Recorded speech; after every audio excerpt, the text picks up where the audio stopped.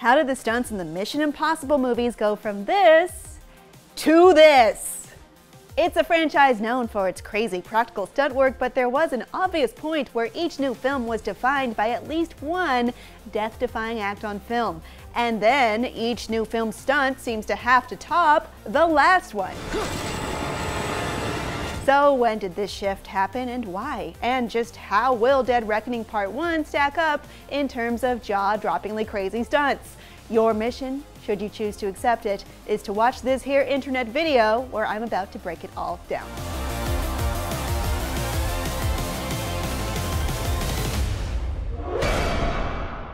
This tape will self destruct in five seconds.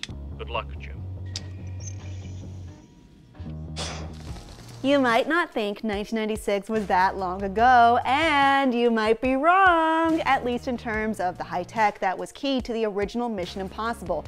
CRT, floppy disks, modems. In action movie terms, 1996 was a long time ago, folks, and if the tech doesn't make it clear, Ethan Hunt's big action set pieces do because what we see here is a long way off from modern Mission Impossible, and the evolution could not be more stark.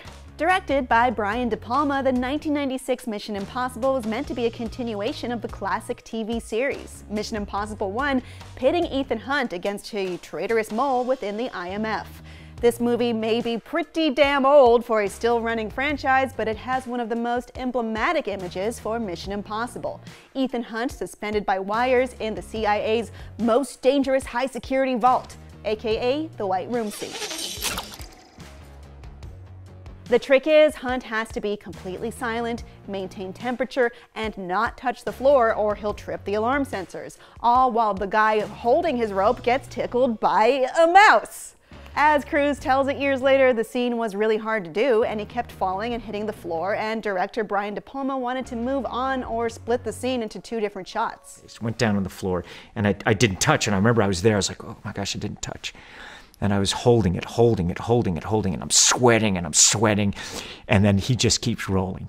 While the scene isn't part of the big action set piece in the third act, that stunt involves a bullet train and a helicopter crash, a lot more CG work than you'll see elsewhere in the series.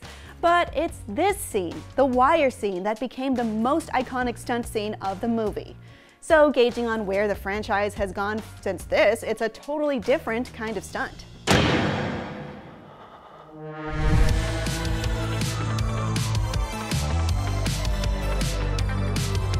Mission Impossible 2 followed up in 2000, shifting from De Palma to famed action director John Woo. The movie's action stylings departed from the first movie big time, but it still didn't come close to the franchise's hugest, most dangerous stunts still to come. This movie has two big stunt scenes. The first is when we first catch up with Ethan doing a little free climbing in Utah. He launches himself from ledge to ledge and nearly falls, but makes it to the top. Tom Cruise did actually do this with digitally removed cables, though Woo insisted there be two stunt doubles for climbing and the overhang stunt. This scene doesn't have a lot to do with the plot besides to show off how cool the main character is, him and the sweet, sick wraparound sunglasses, obviously. This message will self-destruct in five seconds. Another major stunt was performed by Tom Cruise, giving John Woo even more safety anxiety, no doubt, and it's the knife fight that gets perilously close to a full-on eye stabbing. A real knife was used, and that is Tom, but to make it stop a quarter inch from his eyeball, it was connected to a very carefully measured cable, while Cruise insisted his scene partner, Dougray Scott, fight with all his might in the scene. Apparently, there was a lot of chafing between Cruise wanting to do all his own stunts and Woo being very, very against that. He was uh, so stubborn, you know, said, no, no, no, this is the way I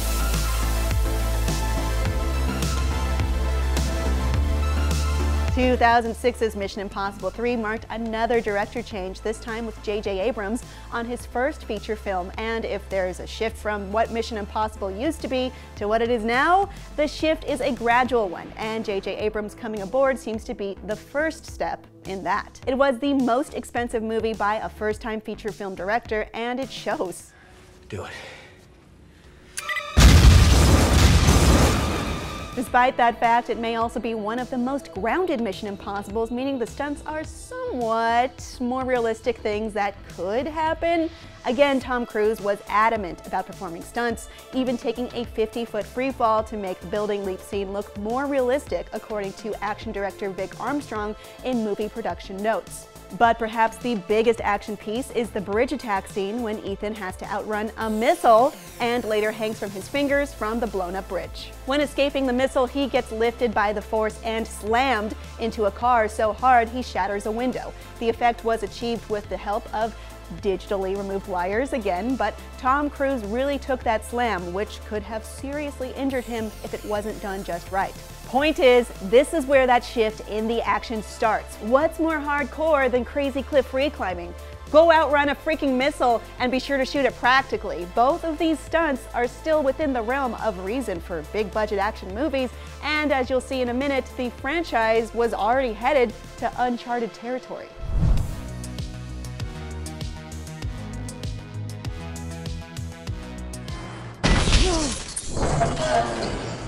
2011's Mission Impossible Ghost Protocol is, in many opinions, the time when the Mission Impossible movies really took their stunts to the next level as Tom Cruise began his one-upsman competition against his rival, Tom Cruise, to constantly achieve the most dangerous, unbelievable activity possible.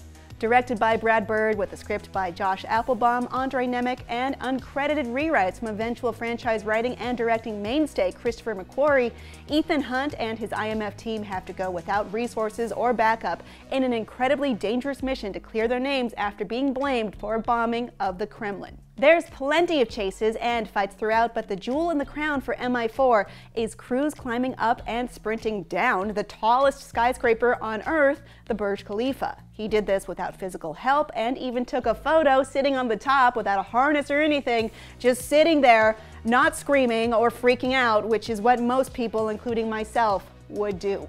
All the filming was achieved through strategically placed IMAX cameras, save for one super close-up shot of Cruise on a skyscraper replica. Again, with this stunt, we as fans can see the stunt escalation really start to take shape. The other important addition here is Christopher McQuarrie, who is now Tom Cruise's partner in crime when filming these films, and at this point, it's clear that they're definitely trying to top what they did in the last one, meaning they'd need to do something pretty crazy to top this. Your line's not long enough! No!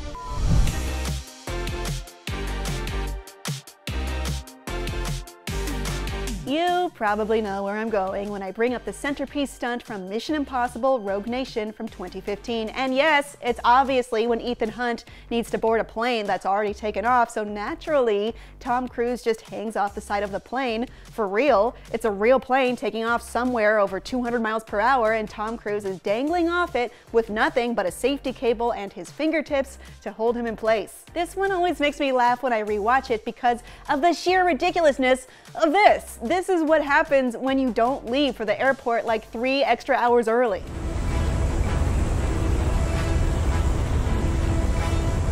Not only did he actually volunteer to do this, he did this eight times in a row, which is probably way more than anyone was asking for because he's Tom Cruise. He's about this life now for some reason. Even if you aren't afraid of heights, I'll bet you're still quite scared of drowning. I know I am.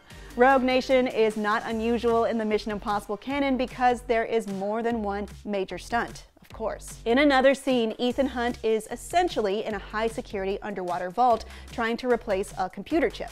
This sequence required Cruise to be able to hold his breath for a long time in order to pull it off, six minutes at a time, in fact.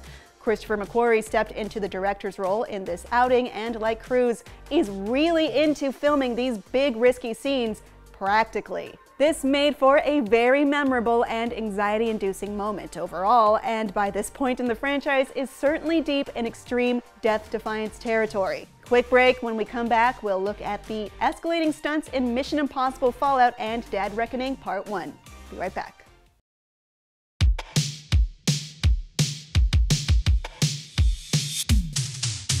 And now, we're flying helicopters and doing halo jumps. No big deal. Halo, of course, means high altitude, low opening, and it also means one of Tom Cruise's most jaw dropping stunts ever in Mission Impossible Fallout. Once again directed by Christopher McQuarrie, early on in this movie, Ethan Hunt needs to infiltrate what else in this series? A huge, expensive party somewhere in Europe with his forced partner, August Walker, who he also has to save. Tom Cruise, of course, does his own stunts for this, leaping out of the plane at an altitude so high you have to wear an oxygen mask. The shot is actually three shots with special equipment invented to make it work, according to the movie's home release special features. To qualify to even do this, Cruise needed to prepare with over 100 skydiving jumps, as well as several lower altitude rehearsal jumps with camera and safety personnel, and the movements had to be very precise to get Cruise at the right spot to be captured on camera. On top of this, this shot happens at a very particular time of day, leaving just three minutes every 24 hours for it to even be attempted. Almost just as impressive is the helicopter chase scene where Ethan Hunt has to climb up a rope, fall down the rope, climb back up the rope, fight the guy inside the chopper, then fly the chopper in the big chase scene, and once again, Tom Cruise did every part of this practically, including flying the helicopter. If there is a zenith of the Cruise McQuarrie Mission Impossible partnership, it's Fallout. Of course, there's no way they can top this, right? When that moment happens, we're all it's just, it's amazing. It's an amazing feeling. And lastly, we have the new Mission Impossible Dead Reckoning Part 1, once again directed by Christopher McQuarrie.